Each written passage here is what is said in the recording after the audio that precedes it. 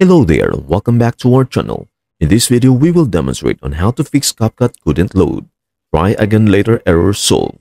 To begin, check for your Wi-Fi or cellular data connection. Then turn on your airplane mode for at least 3 seconds, then turn it back off. After this, turn on your Wi-Fi or cellular data connection, then open your CapCut app. On the upper right corner of your screen, tap the setting button beside the question mark button. Scroll down until you see the clear cache button and click confirm button. It will then clear all your cache except your CapCut edit drafts. After that, you can try restarting your mobile device by pressing and holding the power button. And once you are done, the issue will be solved. That's it. Thanks for watching. Don't forget to like, subscribe, and comment below for more tutorials on your favorite apps. Happy exploring!